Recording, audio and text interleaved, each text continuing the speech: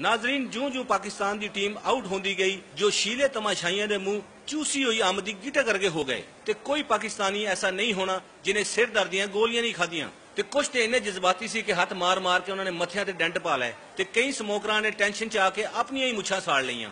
ਤੁਹਾਨੂੰ ਵੀ ਮੈਚ ਦਾ ਦੁੱਖ ਹੋਇਆ ਜੀ? ਦੁੱਖ ਦੀ ਗੱਲ ਕਰਦੇ ਹੋ, ਇੰਨਾ ਦੁੱਖ ਤੇ ਮੈਨੂੰ ਅੱਬੇ ਦੇ ਫੌਤ ਹੋਣ ਤੇ ਨਹੀਂ ਹੋਇਆ।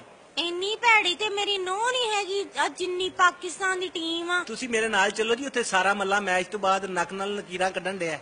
ਮੈਂ ਮੈਚ ਛੱਡ ਕੇ ਨਿੱਕੇ ਭਰਾ ਦੀ ਟਿੰਡ ਕਰਾਉਣ ਗਿਆ ਤੇ ਵਾਪਸ ਆ ਕੇ ਜਦੋਂ ਮੈਚ ਵੇਖਿਆ ਤੇ ਪਤਾ ਲੱਗਾ ਪਾਕਿਸਤਾਨ ਦੀ ਟੀਮ ਦੀ ਵੀ ਟਿੰਡ ਹੋ ਗਈ ਹੈ ਨਾਜ਼ਰੀਨ ਇਸ ਸ਼ਿਕਸਤ ਦਾ ਇੱਕ ਫਾਇਦਾ ਹੋਇਆ ਹੈ ਕਿ ਮੁਲਕ ਦੇ ਵਿੱਚ ਭਾਈਚਾਰਾ ਅਰੂਜ ਤੇ ਪਹੁੰਚ ਗਿਆ। ਦੁਸ਼ਮਣ ਦੁਸ਼ਮਣ ਦੇ ਗਲੇ ਲੱਗ ਕੇ ਰੋਂਦਾ ਰਿਹਾ ਕੋਈ ਭੁੱਖਾ ਰਿਹਾ ਕੋਈ ਸੌਂਦਾ ਰਿਹਾ ਬਸ ਸਾਰਾ ਦਿਨ ਇਹੋ ਹੀ ਹੁੰਦਾ ਰਿਹਾ। ਬਾਕੀ ਕ੍ਰਿਕਟ ਦੇ ਨਾਕਦੀਨ ਕਹਿ ਰਹੇ ਨੇ ਕਿ ਪਾਕਿਸਤਾਨੀ ਟੀਮ ਨੇ ਆਊਟ ਹੋਣ ਦੇ ਨਵੇਂ ਤਰੀਕੇ ਇਜਾਦ ਕਰਕੇ ਸਾਇੰਸਦਾਨਾਂ 'ਚ ਆਪਣਾ ਨਾਂ ਲਿਖਾ ਲਿਆ ਹੈ।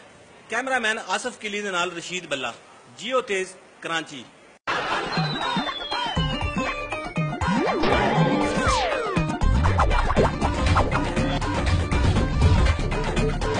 ਤੇਜ਼ਾਬੀ ਟੋਟੇ।